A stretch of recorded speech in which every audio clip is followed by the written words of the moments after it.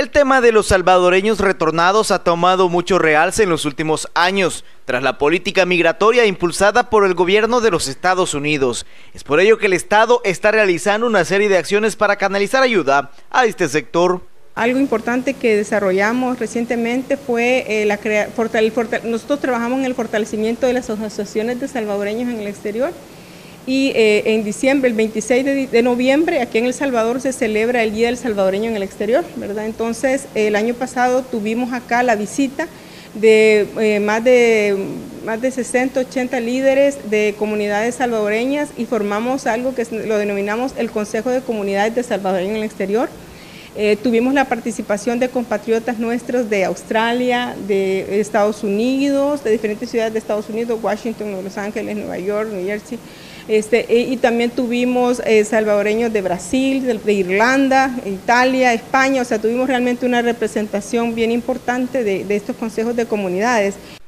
Una de las acciones que se realizan frecuentemente es la celebración dedicada a los compatriotas residentes en los Estados Unidos y en diversos países del mundo.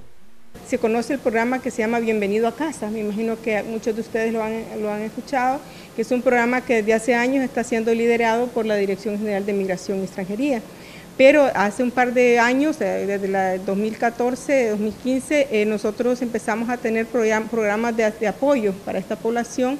Eh, justamente acá en el departamento de Sultán, nosotros trabajamos en el año 2017 un programa con el FISDL, con el Fondo de Inversión para el Desarrollo Local, e intervenimos en cuatro municipios. Estuvimos en Ozatlán, en Jiquilisco, en Usulután Cabecera y también en Santa Elena.